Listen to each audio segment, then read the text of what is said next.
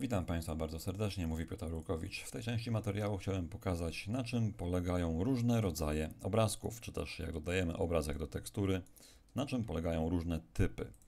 Już pokazuję o co chodzi. Dodamy sobie do sceny zwykłego plana, trochę go rozciągnę. Z kamery wygląda on w taki sposób. Renderuje się oczywiście na szaro. I teraz dodaję do niego materiał. Do tego materiału dodaję teksturę i ta tekstura będzie obrazkiem. Zatem zmieniam rodzaj tekstury w liście o nazwie type na image or movie. Standardowa tekstura domyślna to jest obrazek generowany przez Blendera i na razie on nie jest ani wczytany, ani zapisany. Po prostu jest to czarny obszar, który nie zmienia w ogóle tekstury. Można powiedzieć, że tej tekstury tutaj brak. Teraz mogę zrobić nową teksturę, która będzie obrazkiem, albo wczytać z dysku. Jeżeli zrobię nową, wtedy pojawia się okno dialogowe, z którego nie mogę zdjąć kursora myszy. Jeżeli to zrobię, to okno znika. Jest to wkurzające dlatego, że jeżeli coś już wpisałem i niechcący wyjadę myszą poza okno, to ono znika, trzeba później od nowa wszystko wpisywać. Zatem zróbmy to starannie. Nadaję obrazkowi nazwę, na przykład obrazek. Potem określam jego rozdzielczość 512 na 512 pikseli. I potem mogę określić domyślny kolor.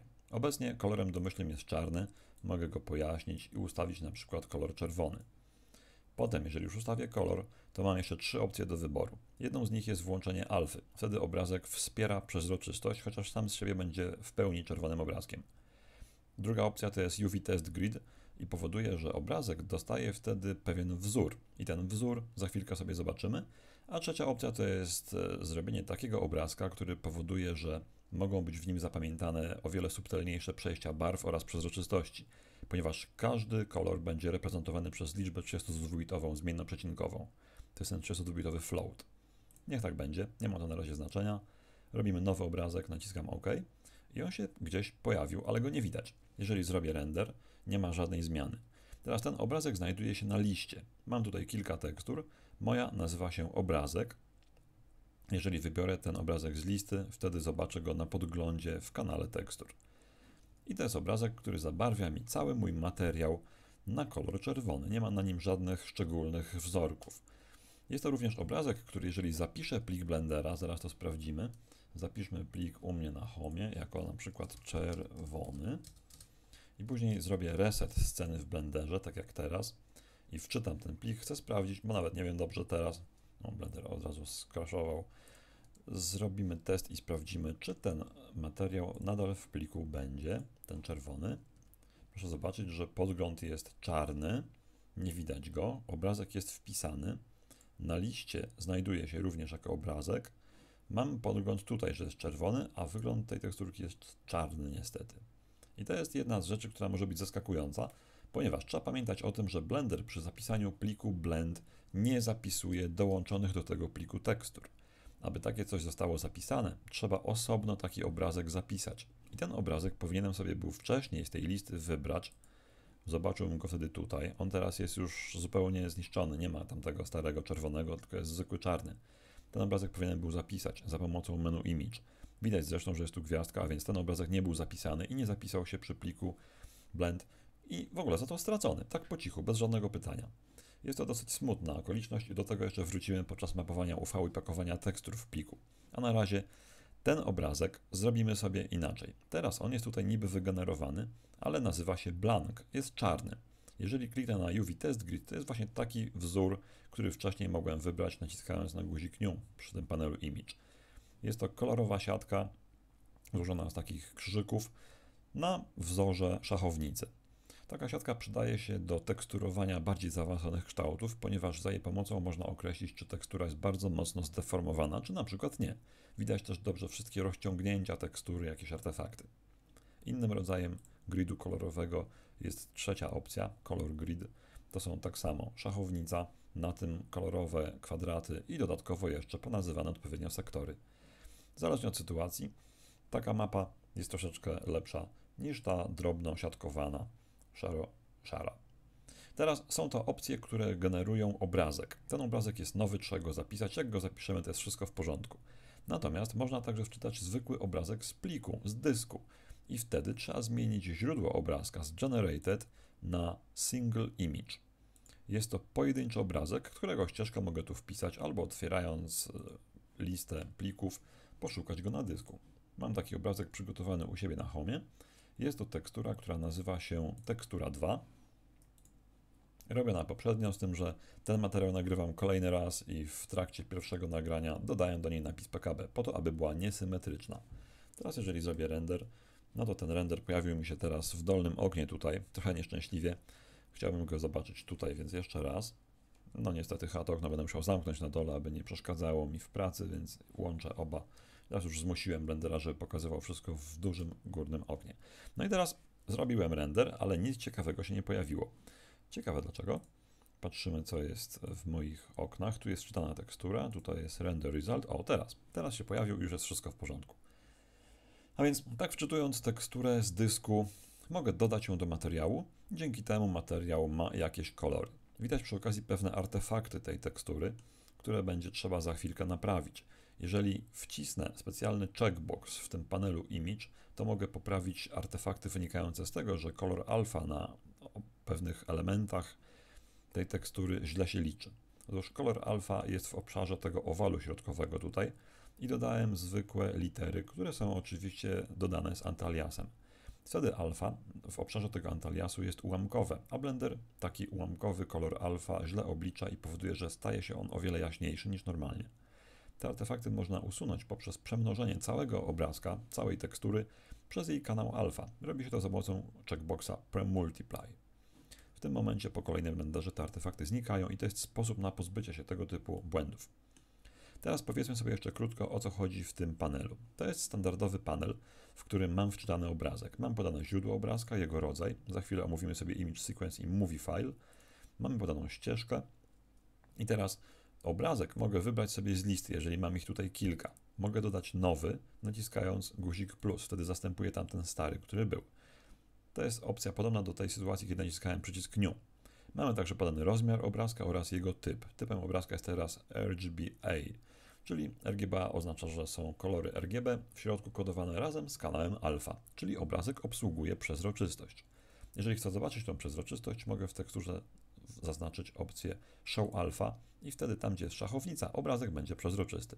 Nie widać tego oczywiście na renderze, ponieważ mój materiał nie ma w ogóle włączonej przezroczystości, a nawet gdyby miał, to i tak by jej nie było, bo alfa jest ustawiona na 1.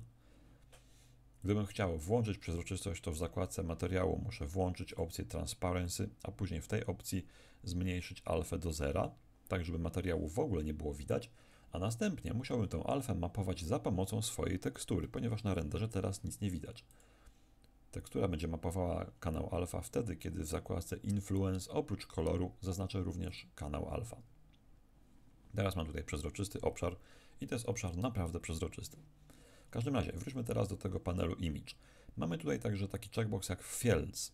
Fields jest wzięty w zasadzie z techniki filmowej, ponieważ obrazy wewnątrz filmów, czy też w plikach filmowych mogą być kodowane jakby na dwa sposoby. I Fields oznacza, że będzie jako przetwarzany obraz brany jako pierwszy górna połowa lub dolna połowa. W tym przypadku nie ma to żadnego znaczenia i tę opcję powinniśmy zostawić wyłączoną. Premultiply oczywiście mnoży obraz przez jego alfę, natomiast Color Unpremultiply jest to opcja, która optymalizuje troszeczkę wygląd alfy w miejscach, kiedy ta alfa jest troszeczkę błędnie rysowana. Blender teraz nie ma z tym problemu, nie widać tutaj błędów, ale są pewne sytuacje, o których czytałem, których teraz nie jestem w stanie odtworzyć, kiedy ta alfa rzeczywiście źle wygląda. I wtedy Color Premultiply może pomóc. Ok, zmieńmy teraz rodzaj obrazka na coś takiego jak Image Sequence. Image Sequence nie jest pojedynczym obrazkiem, ale wieloma obrazkami. I teraz, aby taki image sequence posiadać, trzeba wcześniej zrobić jakiś film, pociąć go na klatki i te klatki ustawić sobie w odpowiedniej kolejności, na przykład z jakąś numeracją. Wczytam teraz taki image sequence. Mam na dysku gdzieś w katalogu PKB coś takiego jak rotacja PKB. To jest zestaw klatek, które opisują czy też rysują mi taki króciutki film. Na podglądzie mogę zobaczyć, jak te klatki wyglądają. Zaczynają się od przezroczystego tła, później coś się pojawia czerwonego, rośnie, rośnie, obraca się dość szybko i na samym końcu z tego powstaje napis PKB, czyli polski kurs Blendera.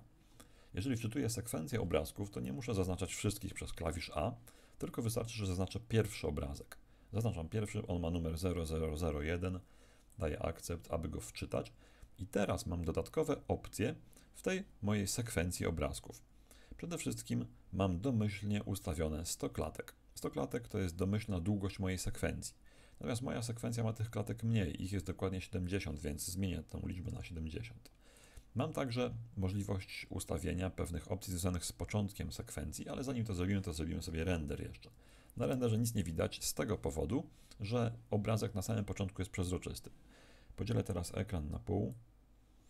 Tutaj znowu jest jakiś błąd, który już wcześniej mi się pojawił, ale moment i zaraz będziemy mieli to opanowane. Obszar pomiędzy ekranami poleciał dół bardzo. Dobra, teraz mam tak. Tutaj w dolnej części wstawię sobie oś czasu, czyli timeline. Ten timeline to po prostu kolejne klatki, które mogę zmieniać za pomocą myszy. No a w górnym oknie mam swoje okno renderowania. Ustawię się w klatce 50 i zrobię render. Od razu widać na podglądzie, że coś tam się zaczęło dziać z tą teksturą i teraz mój obiekt wygląda w taki sposób. Mam przezroczystą teksturę, w związku z tym jest przezroczysty materiał i to, co jest nieprzezroczyste na teksturze widać. Jest to tego typu animacja. W każdej klatce ona jest inna. I gdybym wyrenderował z tego film, to miałbym zwykłego plana, na którym odbywa się ruch jakiegoś tam obrazka. W ten sposób można robić animacje na przykład telewizyjne, w sensie takim, że budujemy sobie model telewizora i teksturę na ekranie załatwiamy za pomocą takiej sekwencji obrazków. Wtedy wydaje się, że na ekranie leci jakiś film. Natomiast te opcje, które mamy tutaj, to są opcje, które określają, w jaki sposób ta nasza sekwencja będzie odtwarzana w poszczególnych klatkach. Obecnie zaczynam od pierwszej klatki cały jakby seans animacyjny w Blenderze i jednocześnie tutaj mam napisane, że start od klatki pierwszej.